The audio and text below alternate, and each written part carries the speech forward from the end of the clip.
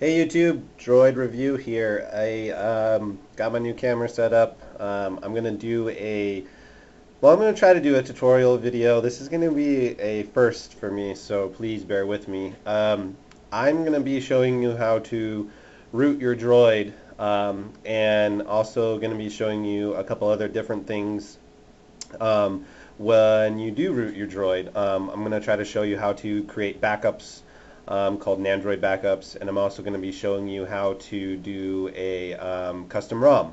I'm not going to be able to fit them all in one video, so it might be two-part, three-part, who knows. Um, it, it's real easy once you get used to it, um, but I'm going to try to go through it just like you would at home, um, because I know there's times where a lot of people you know, they try to show you how to do something when it's already done to their phone and it, you might get some crazy errors or something like that. So um, what I have right here is a non-rooted, uh, non-rooted phone, and um, with no custom ROM. As you can see, I'll go into uh, the uh, firmware here, and we're running 2.0.1 uh, and a Android kernel. So we're not rooted or custom ROMmed at all there.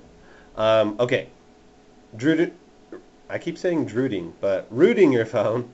Um, basically, what that does is it, it, it's it's not unlocking your phone. It's not jailbreaking your phone. There's no way to get free apps out of this. Um, it's a simple way to basically just install a custom ROM to your phone. And what that means is a custom ROM, meaning you know, let's just say you wanted the Nexus One. Uh, ROM on your on your G1 or on your Droid or on your uh, HTC Eris or on your um, Samsung Moment there's tons of Android phones out there um, with all sorts of different ROMs and different tweaks. And um, this enables you to um, put custom ROMs on your phone from other phones or other carriers um, from around the world. It also enables you to customize the phone how you want, create different themes. Um, as you saw, I had the uh, smoke theme uh, in my last video that everyone was oohing and awing about and wanted to know how I did it.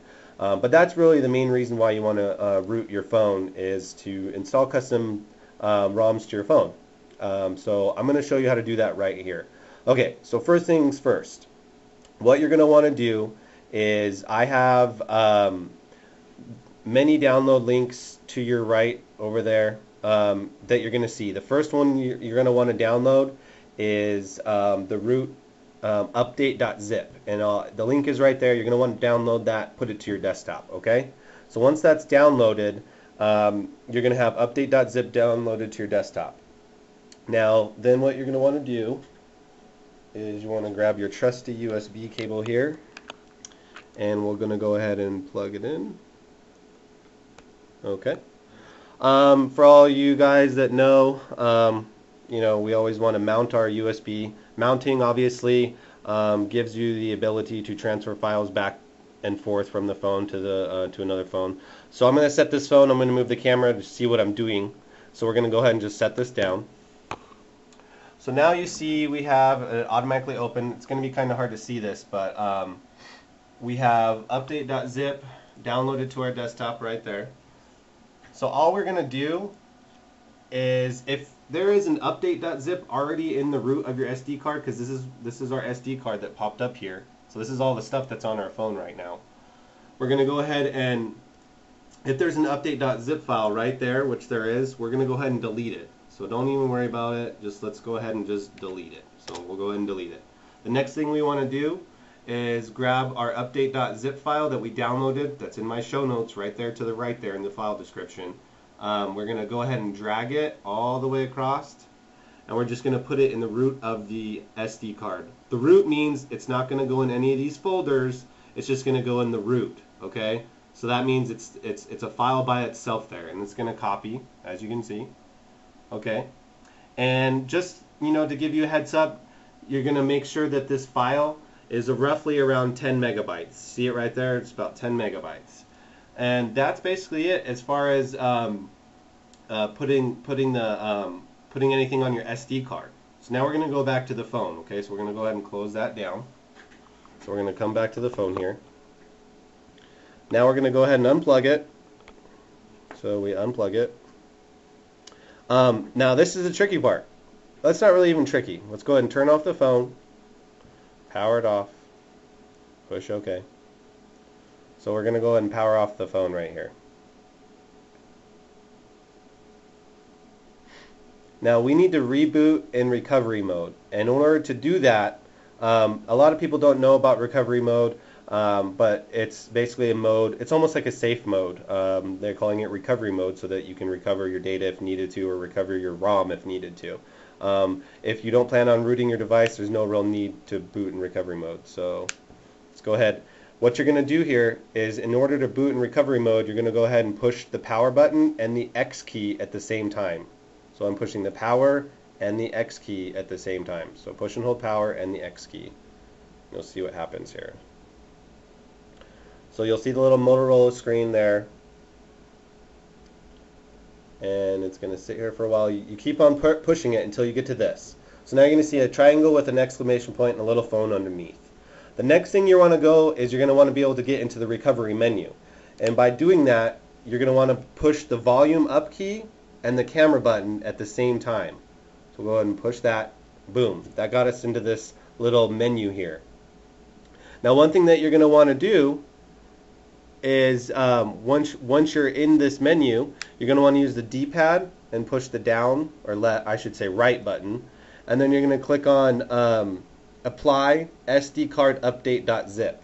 It's kind of hard to see, but the text is so small in this menu, but it's the second option down. And then you're going to go ahead and push the gold button on the D-pad right here, okay? Once we do that, it's going to go ahead and do this crazy option. It's going to sit here for a little bit, and um, it's going to go through here. And it's going to say, install from SD card complete. That's all we need to do. So let's go ahead and reboot the system now, which there's an option right there. Text is hard to see, so it's kind of hard to film it, but it's there. So we can, as you can see, I can, you know, scroll up and down. So we're going to click on Reboot System now. We're going to click on Reboot. It's going to reboot the phone.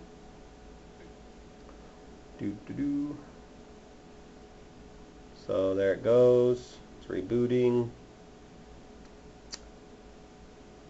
So what we did is we basically went into recovery mode and we applied, we opened up that update.zip that we put on the uh, root of the SD card. This essentially roots your phone.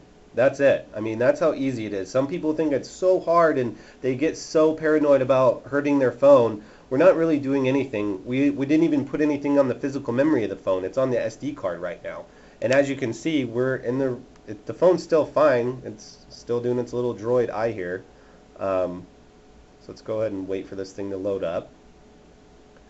Um, now, if you don't, if you're like, okay, well, I don't know if that worked or not. Am I rooted? Am I not? The first thing that you're going to find that when you're rooted is nothing's changed. You know, everything's fine. The world has not ended. Your warranty is not voided.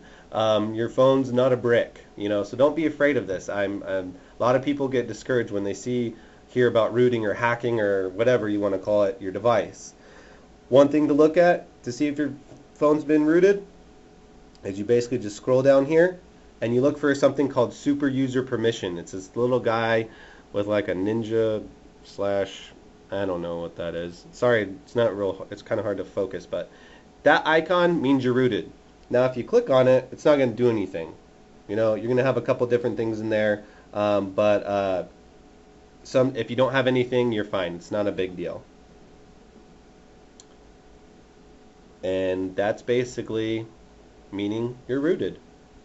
So I'm already at nine minutes, so I hate to say this, but um, that's our rooting video. So I'm to say, you know, um, in part two, I'm to show you how to do a Nandroid backup. And what, what that means is basically um, we're to go into recovery mode and be able to make a perfect image of what we have here. Reason being is because if you were to brick your phone or do anything bad or something screw up or you you install a ROM that you thought was going to be good and then you're like, oh my god, it just totally bricked my phone or I hate this thing. You can always reboot into recovery mode, load your backed up ROM, and it'll look just like how you saved it, which is really cool. So it's almost essentially a device to where um, you can uh, basically just do whatever you want and not have to worry about hurting your phone that bad. I mean, essentially, yes, you could still damage your phone, but um, this is going to save you a lot of uh, grief or stress about doing it. So Um, I'm going to show you how to do that in the next uh, video. It's called a Nandroid backup. Um, basically allows you to just create a um, mirror image of your phone or ROM um, of what it looks like right before you install anything. So um, you keep all your apps, your contacts, the way your phone looks, everything the same. It's just like pushing the reset button. It's similar to um, how you restore your system in Windows XP or Vista or whatever. Kind of creates a, um, a, a restore image, essentially. Anyway. Uh, thanks for watching. Stay tuned for the next video. Um, I hope you enjoyed this one, and um, please let me know if you have any questions. Just make uh, just put the comments in the comment section, and I'll get back to you guys as soon as I can. Uh, thanks again. See ya.